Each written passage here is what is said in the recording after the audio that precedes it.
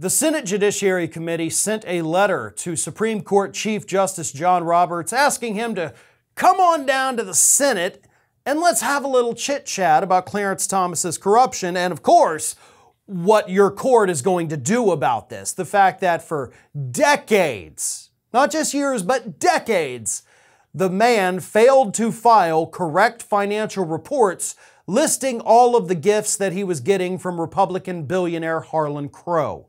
He also didn't list the sale of his home to Harlan Crow, didn't list the fact that his mother is living rent free in one of Harlan Crow's homes, didn't talk about any of this in his financial disclosures. So, John Roberts, come on down and let's have that talk.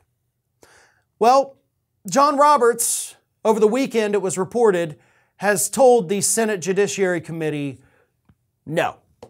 No, I am not going to come. I'm not going to talk about any of this. Uh, if you want, what you should do is go ask, uh, what is it, the Judicial Conference. You know, they are the ones who kind of make rules for the Supreme Court. So, uh, you know, why don't you go talk to them? I'm a little busy. I don't know if you know this, I got a court to run. So, yeah, I'm not coming. Maybe those folks will help you out. But here's the thing see, the, the Senate Judiciary Committee, they're not morons. They had already sent a letter also to the Judicial Conference. So the Judicial Conference has already been invited. They just wanted to get you as well, John Roberts. They know about the Judicial Conference, they know what their job is. Uh, you're talking to the body that appoints people like you. And you had to go through a Senate confirmation process. You think they're not familiar with all of the bodies involved in the United States Supreme Court? John Roberts is scared.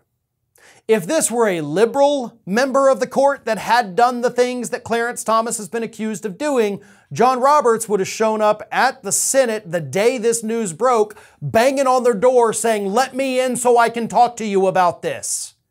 But because it's one of his own, because it's the longest tenured member of that Supreme Court, John Roberts is like, oh, I, I don't know what's going on. I, I've never met this man in my life. I don't even know who he is. How did you get in here? Clarence Thomas has to go. Republicans will never let that happen.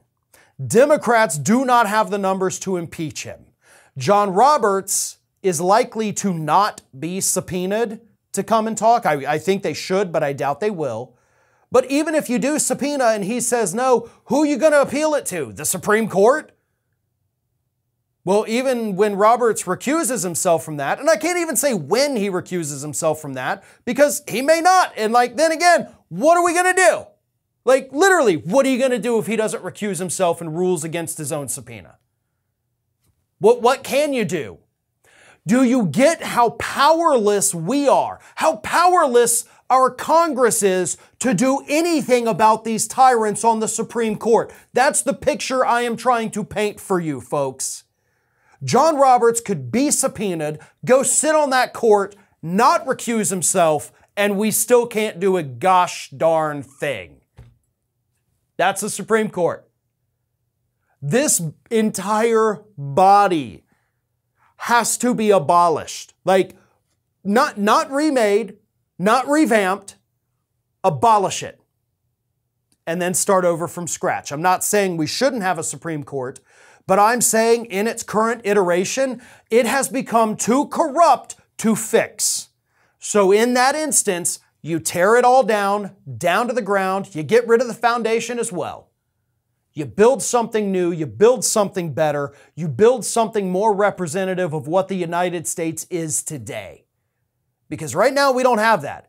We've got a third of the government that is completely, wholly corrupted.